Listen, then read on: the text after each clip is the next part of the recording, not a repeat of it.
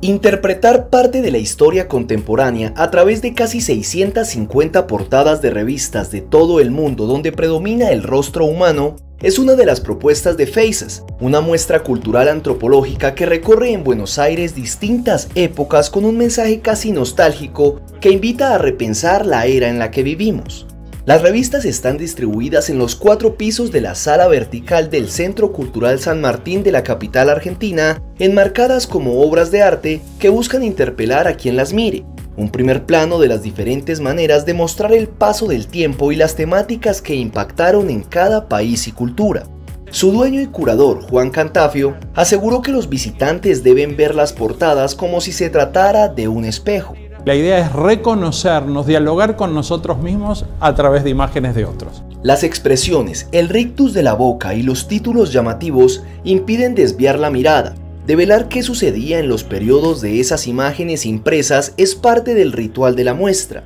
Las portadas atraviesan 100 años de humanidad y es una pequeña parte de una colección privada de 400.000 ejemplares, la más grande de Latinoamérica. Una travesía que interpela al público a un nivel personal, cada personaje tiene algo para decir con caras encriptadas y otras más evidentes. Sin embargo, la exposición se aprovecha de la adicción a encontrar significado a cada aspecto que aparece. Es un recorte, una selección de 1920 al 2020, o sea, 100 años del rostro humano mostrado de diferentes maneras con revistas nacionales e internacionales para llamar la atención del público e invitarlo a reflexionar a cómo hemos mostrado a las personas a través del arte gráfico editorial. Cantafio juntó durante 52 años y por sus propios medios cada ejemplar de revistas nacionales e internacionales que atraviesan más de 50 géneros periodísticos.